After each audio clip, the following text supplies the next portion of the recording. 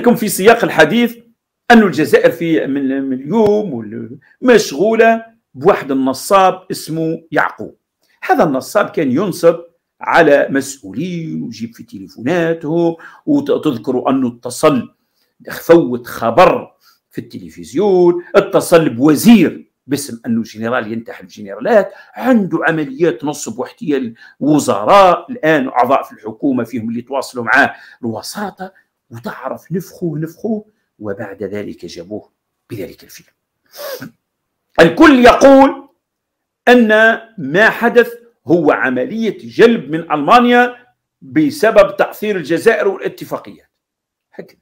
كل يقول باللي راهم جابوه بهذه الطريقة.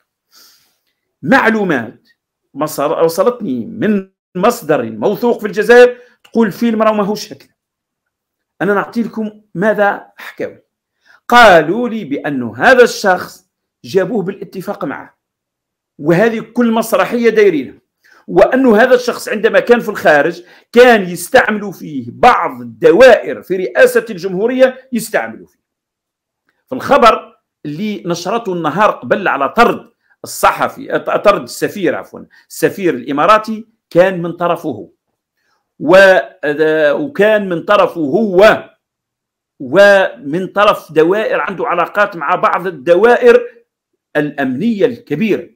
ها نزيد نقول هو اللي خرج الخبر وقبل خرج لهم خبر في التلفزيون عاجل على أنه مسكوه وخرج لهم كان يشارك على أساس أنه حتى في الأمم المتحدة. وهو شاب حسب في العشرينات من عمره كان عاش ظروف اجتماعية سيئة ومستعمل أنا قبل شكك قلت لكم ربما يكون هذا الشخص يقوم بدور استخبارات لكن المعلومة اللي وصلتني اليوم تقول بأن هذا ما جابوه في إطار أنه تم ترحيله وإلقاء القبض عليه ولا أي شيء.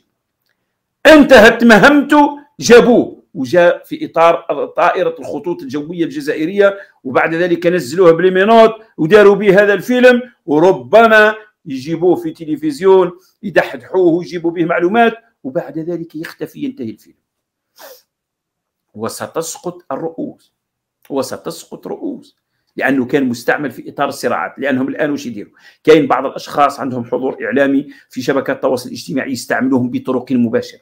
وهناك من يستعملونهم بطرق غير مباشرة عن طريق أشخاص يسربوا لهم المعلومات.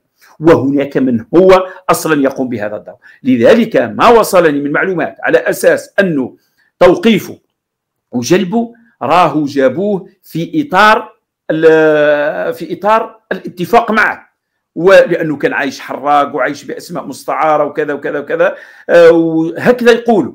سيدي يعين ولات ووزراء وأموال طائلة عنده عايش واحد البذخ ما عندوش نظير. يعني هذا شخص بهذا البذخ ما قدرش يتزوج حتى امرأة يدير بها الكواغد شوفوا مثلا راها ها هو ظهروه في في, في أحد التلفزيونات. خلينا نشوفوا واش يحكوا عليه وبعدنا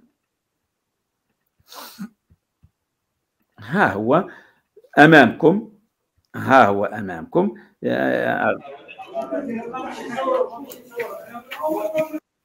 ها يقوم بتصويره لهنا يعني بإشاب مراهق مثل هذا يلعب بوزراء من رأسه هكذا عادي جدا وتليفوناته الغريبة راه حسب مصدر يقولوا كل التليفونات نتاع كبار المسؤولين حتى نتاع تبون شخصيا عنده. تليفونات شخصية نتاع عائلة تبون نتاع اولاده نتاع كبار المسؤولين الغريبة لما اتصل بوزير. نعم لما اتصل بوزير. وزير من؟ هذا الوزير اللي اتصل به نتاع الإعلام. راهو شوف الوزارات حسب مصادر تقول بأنهم عندهم أرقام خاصة. أرقام خاصة. يعني آه، آه، ما يجيش بالسي شيفر. ست أرقام الرقم العادي. يجيب رقم خاص. هو جاه من الرقم الخاص اللي يستعملوه كبار المسؤولين يعني اللي شكون اللي فوتوا وشكون اللي خلاه عيط من الخارج؟ يتصل وبعد يخرج الرقم نتاع الاتصال من مكتب مدير أمن الجيش. ويتحدث باسم مدير أمن الجيش مع الوزير. كاين دوائر. يا جماعة كاين دوائر. خدموا به. خدموا به وأسقطوا به كثير من الرؤوس ثم جابوه على أساس أن الجزائر عندها تأثير وجابوه في ظروف راهم حاسين بحرج كبير تجاه ما يحدث في غزة. جابوه داروا به الفيلم هذا يعني ما هو هذا الصيد الثمين. هل هذا ارهابي عالمي؟ هذا مجرد على حسب ما سوقول مجرد نصاب ينصب هكذا ويستعمل في التليفونات والاتصالات استعمل بعض لأنه أشهر أذكى الناس على كثير من خبراء علم الاجتماع يقول لك هم النصابين يقدروا يتماهوا مع كل شخصية وكذا وكذا. هذا يعني هل هذا خبر؟ التلفزيون الجزائري يحكي عليه التلفزيون القنوات الكل الوكالة الأنباء وكذا وكذا وكذا يحكوا عليه بهذه الطريقة. أمر عادي؟ لا. جابوه في وقت احتاجوا احتاجوا إلى شيء آخر يشغلوا به الناس. لأنه قضية فلسطين حطتهم في موقف حرج. وش راح تديروا أنتم؟ لأنهم عندهم مدة وهم يرفعوا من سقف. الشعارات تجاه فلسطين دور تبون لم الشمل إيجاد حل كذا كذا حل الدولة. منذ أيام فقط كان في الأمم المتحدة يرافع من أجل حل الدولة والجزائر ستعمل حتى تدخل فلسطين إلى الأمم المتحدة كدولة كاملة العضوية. تجي هذه الحادثة تحط في حرج لا نظير له. فذلك هذا الفيلم. لذلك مصدري وأنا الذي هذا الذي أعرفه عن هذا المصدر. أنه قال لي بانه ما حدث له توقيف من طرف الأجهزة الاستخباراتية الاستخباراتية والأمن الخارجي. هم قال لك جابوه بوليسيه عناصر تاع شرطة. وهذا عمل من المفروض. لو كان عمل استخباراتي كبير راهو الأمن الخارجي اللي يقوم به. وإذا قام بها الأمن الخارجي وعلاش مخفيين وردوها لعناصر الشرطة؟ شوف نقولها لكم. ما جابوا حتى واحد عن طريق تأثير الدولة الجزائرية. محمد عبد الله ومحمد بن حليمة جابوهم عن طريق استغلال فرص هم اللي أعطوها لهم بسبب محيطهم. هاني نقولها لكم محمد عبد الله وقعوا له فخ. أصحابه اللي كانوا يجيبوا فيه. محمد عبد الله آه، آه، رفضوا له اللجوء بسبب أنه هو طالب لجوء في إسبانيا وسافر إلى باريس حضر آه، واحد المظاهرة نتاع الحراك الشعبي. جهات استخباراتية كي شافت صور ثم أرسلتها عن طريق جهات ما إلى الإدارة المعنية بقضية اللجوء. خلاص يرفض اللجوء نتاعو لأنه غادر التراب الإسباني من دون موافقة. وظهر علانية في فيديوهات. هكذا وقعد هارب تم دبر عليه واحد منهم. قالوا روح سلم نفسك وبعد ذلك نحركوا المنظمات الدولية وبعد ذلك نفرضوا عليهم يطلقوا سراحك ونرحلوك لدولة أوروبية أخرى تدير اللجوء.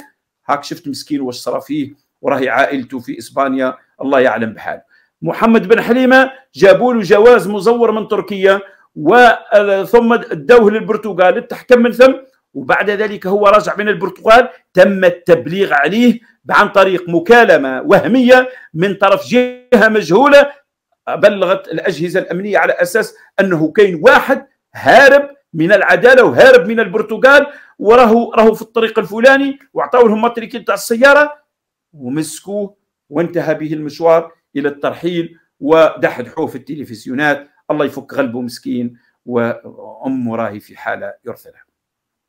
الأخرين هذاك اللي نتاع سوناتراك قبل مسكاتو الإمارات في لحظة وش يسموه؟ وجابوه. آه قرميط بونويرة راهو وصل ثم واللي تواصلوا معاه كانوا يتواصلوا معاه ويأخذوا منه المعلومات ما قدمولوش حتى خدمة على الأقل يهرب لليونان ومن اليونان. إذا ما طلبش اللجوء السياسي في اليونان يمكن أن يصل إلى أي دولة أوروبية أخرى ويطلب اللجوء.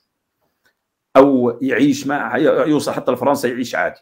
خلوه ثم وبعد ذلك سربوا المعلومات إلى بعض الجهات تكلمت عليه تحركت الجزائر جابته من طرف تركيا. واتصال هاتفي آنذاك رجع من أردوغان آه، من تبون إلى أردوغان فاستلم. هذا ما جابوش لا بأجهزة ولا يحزنون هذا راه كان يتلقى على حسب الروايات. لكن الحقيقة هو أنه كان يخدم لصالح دائرة معينة وجابوه عن طريق الاتفاق.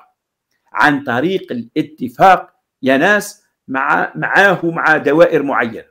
لذلك هذا اللي شفتوه كل فيلم وتم تفجيره في هذه الظروف للتغطية على عورة النظام الجزائري مع ما يحدث في غزة وفلسطين. هذا. أرادوا إشغال الناس. وفي الموضوع راح حسب معلومات اللي وصلتني راهم يحضروا فيه راح يفوتوه دحدوح في هذه الأيام. وراح يفوتوه ويديروا عليه ملفات وبالغوا في أمر. يعني كيفاش؟ شاب صغير مراهق مثل هذا يتصل بوزراء ويقول لهم راح نعينكم في مناصب وما إلى ذلك كذا. وهو كان يعني معناه كان في السلطة وله كان يتصل بتليفونات معناها راهو كاين في دوائر في دوائر معينة. في السلطة من يتصل بهم هم اللي يفوتوا له الوزراء ويفوتوا له الحكومات وكذا. بل أنه يتلقون بعض يعني راهم يمهدوا له العملية في بعض الإدارات وبعد ذلك يتصل بها لذلك معلوماتي التي وصلتني من مصادر موثوقة انه هذا فيلم متفق عليه ولما تشوفوا ملامحه وتشوفوا كيفاش نزل وتشوف التصرفات نتاعو ما توحيش بأنه نصاب خايف ومرعوب وفي رقبته قضايا كبيرة. أنا أعطيت فيديو نتاعو لواحد الأطباء النفسانيين قال لي هذا الشخص ما عنده حتى خوف. إما شجاع بلغ منتهى الشجاعة أو أنه الأمور راهي راهي فيلم هكذا قال لي يعني ما هوش واحد لما تجيبه ونصاب مثل هذا وكان يلعب بأسماء الوزراء ويلعب حتى بضباط المخابرات ويمشي لبلد مثل الجزائر اللي تسلخ جلود المعتقلين ومخافرها تاع تعذيب. يمشي عادي كذا واحيانا يبتسم ما كان حتى شيء. آه يعني يا جماعة الأفلام؟ روحوا شوفوا محمد عبد الله ومحمد بن حليمة ما لمحهم. ما لمحهم كيفاش كانوا. محمد بن حليمة وفي الطيارة صارت له عمليات هستيريا. كان يسب في أحد أصدقائه اللي اللي, اللي كانوا مقربين منه وكانوا يخدموا معه. كان يسب فيها وسبب واحد النوبه وكيهبط ملامحه باين خايف ومرعوب. وحتى في الاعترافات نتاعو واضح اما هذا ما كانش عليه حتى علامات خوف. أوقفوا علينا هذه المهازل وهذه الأفلام اللي راكم والله بهدلتوا بالجزائر. والجزائريين